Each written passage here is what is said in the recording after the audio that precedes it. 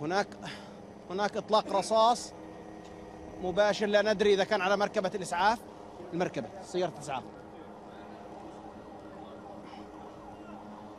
يحيى يمكن أن نقول ان الصورة كذلك تتحدث عن نفسها. مركبات إسعاف تهرع بين فينة وأخرى. الآن يطلق عليها الرصاص مباشرة. نعم إذا جيش الاحتلال يستهدف سيارات الإسعاف بالرصاص يبدو أن مركبات الإسعاف تعرضت لإطلاق رصاص يحيى.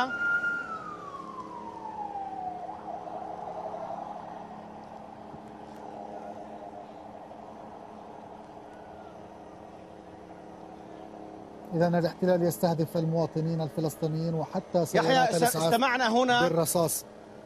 نعم فادي واصل. لا, لا أدري إذا كنت تسمعني يحيى. نعم واصل فادي نسمعك بوضوح واصل. نعم. اذا يبدو أن مركبات نعم نعم. يبدو أن مركبات الإسعاف تعرضت لإطلاق رصاص من خلال آه، جنود جيش الاحتلال الإسرائيلي. الآن في هذا الموقع وهذا ما دفع المواطنين الفلسطينيين هنا لأن الجيش ينتشر حقيقة سواء لقناصة أو حتى الآليات العسكرية. نحن نأخذ مكانا يحيى نحاول فيه أن لا نكون في مرمى رصاص جنود جيش الاحتلال الإسرائيلي. وبالتالي حتى هذا الشارع الذي يظهر الآن في هذه الصورة ومركبات الإسعاف التي الآن تنقل المصابين أو نقلت المصابين هي عائدة للمستشفى أم ستستقر مكانها؟ المداخل الأخرى العمودية على هذا الشارع كل مدخل تقريبا يوجد آلية من آليات جيش الاحتلال وعدد كبير من جنود جيش الاحتلال الإسرائيلي. وبالتالي التحرك في حتى في هذا الشارع هو تحرك يمكن أن يكون أو هو خطير. من دون يمكن هو خطير جدا لأن جيش الاحتلال الإسرائيلي يطلق الرصاص كما شاهدنا مباشرة على مركبات الإسعاف. حتى أنك يمكن أن تلاحظ أن هذه الصورة هنا يعني مركبات الإسعاف تخرج من المخيم بشكل سريع جدا خشية من أن تتعرض لإطلاق رصاص وكذلك كما حدث واستمعنا الآن مباشرة في هذا الموقع.